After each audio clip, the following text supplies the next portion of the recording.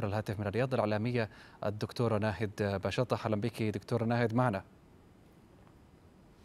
دكتورة ناهد تسمعيني؟ أيوه أسمعك. أهلا بك. يعني كامرأة كيف تنظرين لهذا القرار وإلى أثرها الاجتماعي كذلك؟ أنا بصراحة سعيدة جدا. وقبل ما انظر له كامرأة أنا انظر له كمواطنة سعودية تستطيع الآن أن تتحدث في أي محفل دولي بدون أن تتحرج من أنه أحد يسألها إذا كنتم تتحدثون عن تطوير المرأة والإصلاحات تجاه المرأة كيف لا يمكنكم أن تقودوا السيارة؟ فأنا سعيدة جدا لأنه هذا القرار له أكثر من بعد. البعد الاجتماعي البعد الاقتصادي البعد السياسي تأثيره في في في صورتنا في الإعلام الغربي لأنه ملف المرأة دائما يكون هو أكثر ما يمكن أن يتحدث عنه الإعلام الغربي فيما يتعلق بالمجتمع السعودي حتى في طريقة وصفه للمجتمع كمجتمع مثلا متشدد من من هذه الناحية طبعا يوصفوه. طبعا من الناحية الاجتماعية أنا بعتقد علميا جزء من من دراستي في الدكتوراه كان عن صورة المرأة السعودية في الإعلام البريطاني وكان في جزئية عن قيادة المرأة للسيارة.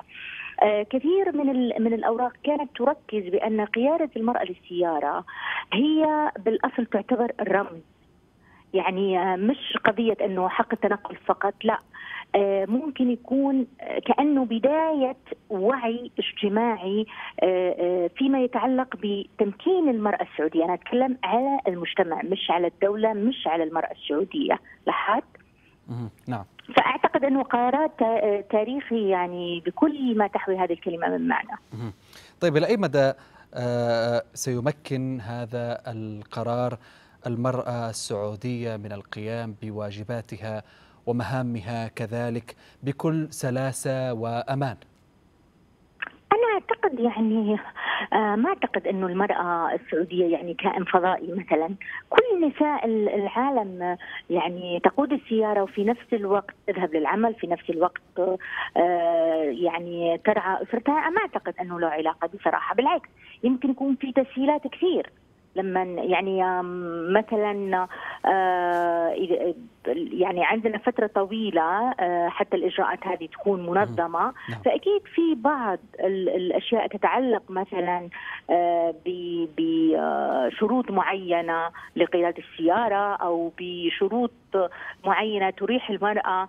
لكن أنا أعتقد ما في أصعب من أنه السائق يسافر أو السيارة تكون متعطلة والمرأة هذه ما عندها مثلا زوج أو ما عندها ابن وكيف ممكن تروح لعملها احتياجها للشركات الثانية مثل أوبر ولا كريم ولا وات ليموزين هذا كله ترى يعني نفسيا حتى يكون مزعج بالنسبة للشخص اللي عنده التزامات عنده اجتماعات معينة عنده دوام معين. فأنا أعتقد أنه شيء طبيعي مثله مثل كل النساء اللي في العالم يعني. طيب. طيب ما ينعكس هذا القرار على الاقتصاد في المملكة؟ الناحية الاقتصادية عدم تمكن المرأة من قيادة السيارة يضر بالاقتصاد. وأذكر أنه في بحثي قرأت بصراحة أنا ناسية اسم الباحثة هي باحثة أمريكية والكتاب كان كان عن يعني القيادة للمرأة يعني القيادة بشكل عام. وكان في فصل كامل عن حرمان المرأة السعودية من القيادة وما يترتب عليه من ضرر اقتصادي يعود على تأخر تمكينها في سوق العمل. يعني لو نظرت إلى تمثيل المرأة السعودية في سوق العمل قليل مقارنة بالدول الخليجية. هذا يعود طبعا إلى أنه كثير من النساء ما تقدر توافق على وظيفة معينة بسبب المواصلات. وكثير منهم مثلا إذا أخذت راتب بسيط يعني خلينا نقول 3000 كم هي حتدفع للسائق؟ يعني أكيد في في مواضيع صح يعني صعبة على المرأة وتؤثر بالاقتصاد. وأعتقد أنه مجلس الشورى العضوات اللي قدموا التوصية ذكروا أشياء لها علاقة بالاقتصاد وبالمجتمع. يعني ذكروا الأضرار الاقتصادية بسبب المنع وذكروا أيضا كمان الإضرار الأضرار الاجتماعية من وجود السائق في في الأسرة وهو بالأخير شخص غريب يعني. نعم بالضبط. أنا أشكرك جزيل الشكر كنت معنا عبر الهاتف. الدكتورة ناهد باشطح الإعلامية من من الرياض كنت معنا. شكرا جزيلا.